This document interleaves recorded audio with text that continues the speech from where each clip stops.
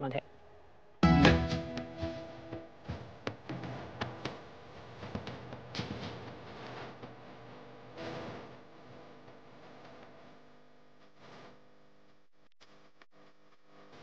बीड राजकीय दृष्ट्या अत्यंत संवेदनशील जिल्हा. बारा ज्योतिर्लिंगांपैकी एक परळी वैजनाथ याच बीड जिल्ह्यातलं. मात्र ऊसतोड कामगारांचा जिल्हा हीच या जिल्ह्याची मुख्य ओळख. कारखान्यांना मजूर पुरवणारा हा जिल्हा. पोटाची खळगी भरण्यासाठी इथला मजूर हाती कोयता घेऊन सहा महिन्यांसाठी वेगवेगळ्या जिल्ह्यात आणि राज्यात स्थलांतर करतो. पावसासाठी कायमच तहानलेला असा हा थोडा दुष्काळी आणि मागास भाग. ज्वारी आणि कापूस ही प्रमुख पिकं घेणारा इथला शेतकरी. या जिल्ह्याच्या विकासाच्या आणाभाका अनेकांनी घेतल्या. मात्र बीडमधल्या समस्या आजही जैसे थेच आहेत. ऊसतोडीसाठी होणारं स्थलांतर आजही बीडची ही ओळख कायम आहे. ऊस तोडणीच्या फडात महिलांची पिळवणूक आणि आरोग्याचे प्रश्नही सुटलेले नाहीत.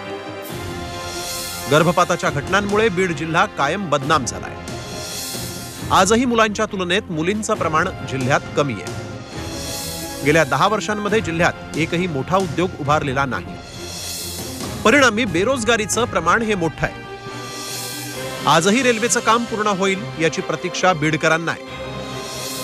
पिण्याच्या पाण्याचा प्रश्न जिल्ह्याची मोठी समस्या.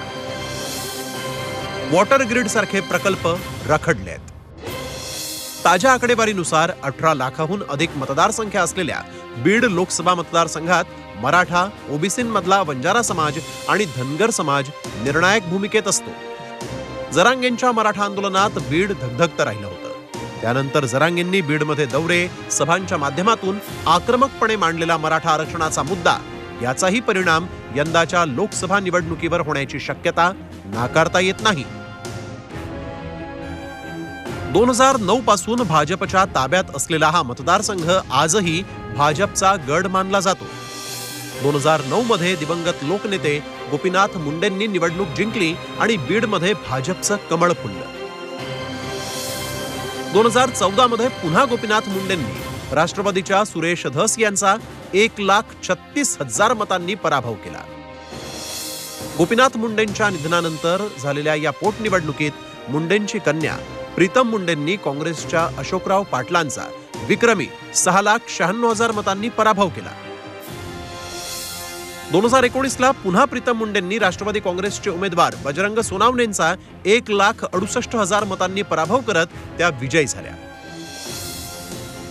सध्याच्या घडीला बीडमधल्या सहापैकी परळी माजलगाव आष्टी बीड या चार मतदारसंघात राष्ट्रवादी काँग्रेसचे आमदार आहेत. तर केज आणि गेवराई हे दोनच मतदारसंघ भाजपच्या ताब्यात आहेत. बीडमध्ये प्रत्येक निवडणुकीत भाजप विरुद्ध राष्ट्रवादी असा सामना रंगायचा.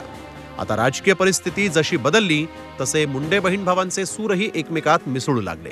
अनेक कार्यक्रमात पंकजा मुंडे धनंजय मुंडेंचं मनोमिलन पाहायला मिळालंय.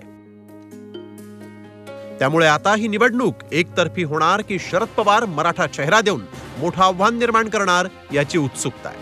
यंदा प्रीतम मुंडे यांच्यासह पंकजा मुंडेंचं नावही चर्चेत आहे. तर दुसरीकडे राष्ट्रवादी शरदचंद्र पवार पक्षाकडून नरेंद्र काळे ईश्वर मुंडे आणि सुशिला मोराळेंची नावं चर्चेत आहेत. राज्यसभा आणि पंकजाताईंना लोकसभा अशी चर्चा होते. तुम्ही आता निरीक्षक. कोणी केली चर्चा?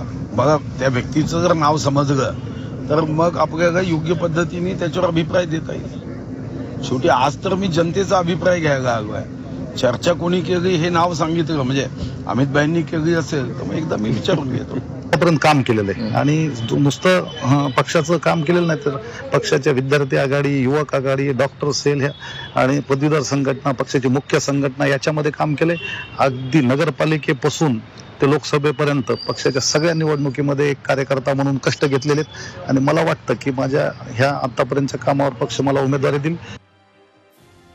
गेली पंधरा वर्ष बीड भाजपचा गड आहे. त्यातच या गडाला आता धनंजय मुंडेंच्या कार्यकर्त्यांची रसद मिळाली आहे तर मराठवाड्यातील पहिली स्वाभिमान सभा बीडमध्ये घेणाऱ्या पवारांचाही बीडमध्ये मोठा डाव टाकायचा मनसुबा दिसतोय. धुळवडीला जावायाला गोडधोड खायला घालून नंतर त्याची दिंड काढणारा हा जिल्हा. राजकीय धुळवडीतही बीडकर यंदा काय करतील याचा नियम नाही.